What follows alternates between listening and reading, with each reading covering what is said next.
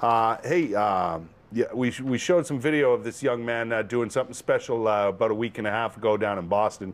Josh Cassidy is here. Uh, I can now call him uh, the world record holder in the wheelchair marathon.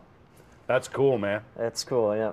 You must think that's pretty cool. it's still setting in a little bit. Is that to right? Be honest, yeah. The wind set in pretty much right away, but then to uh, the world record part, it's uh, yeah, it's still setting in a little bit. Now, you've been working on this for quite some It's not your first marathon, right? No, I've done twenty something 20, marathons. 20 something, yeah, yeah. not sure. But you've been working up to this point. Yeah, my first big marathon win was a London Marathon uh, in the UK in 2010. But I've won the Ottawa Marathon here a few times and other marathons across the country. But these ones are Boston's high profile. Boston's big. Yeah, Yeah. so. And it was the hottest day uh, ever for the Boston Marathon, I think. Yeah, it was uh, about 27 degrees or so, I think. Which That's is, insane. It's, it's hot, yeah.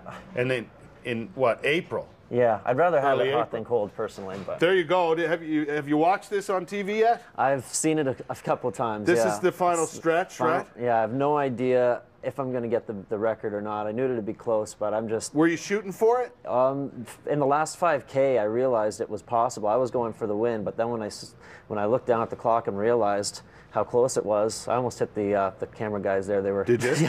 they were pretty close. Yeah. Um, yeah, and then I realized it was going to be close, so I switched it over to the clock, and uh, How- I just went went for it How badly do you want to get out of the chair at this point? badly. To, to be honest, Because that's not the most comfortable chair, is it? No, and I still have uh, some feeling in my legs. So over 42 kilometers to be in that kneeling position, my legs are tucked under me. It's not really natural. So I'm I'm ready to get out of that, get that helmet off, so I can uh, breathe a And little stretch your the, your whole body a little bit. bit. Yeah, exactly. Because you, uh, when you were born, you had uh, cancer in your spine. Yeah, neuroblastoma. It's a very rare type of cancer. Um, Yeah. Maybe 100 kids in the world have it at once. So you do still have some feeling in your legs. Yeah, yeah. I still have some feeling, and uh, I can walk a little bit if I'm holding on to stuff. So. Yeah, you can get around. But yeah, if was, you had to. Yeah, I was pretty fortunate. I wasn't. Uh, it it just it took over quickly, so I wasn't really supposed to make it. So I was Really? lucky. Yeah. Yeah. Wow. Yeah.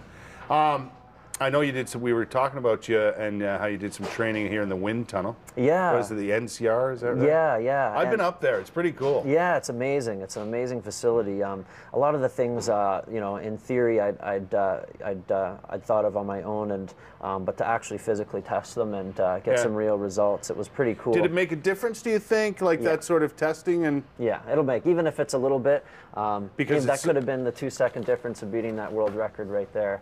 Um, over 42 kilometers, two seconds for aerodynamic, uh, a couple percent increase. That's that's that's two seconds at least there for sure. What are the hardest working upper body muscles when you're doing this?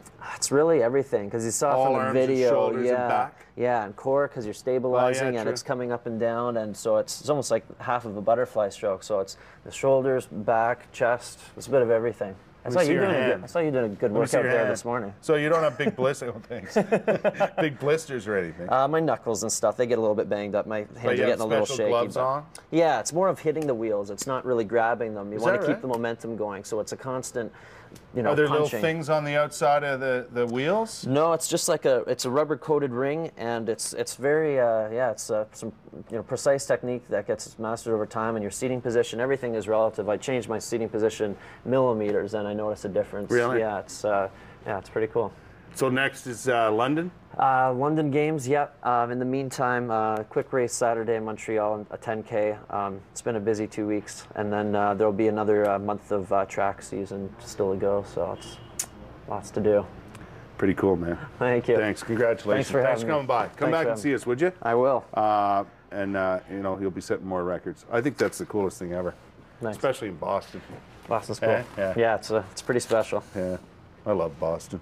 Anyway, uh, off we go to uh, uh, out to Stittsville. Uh, Sarah Freemark's working out at a place called Built by Rowan. Rowan's the trainer. Have more uh, right now, Sarah.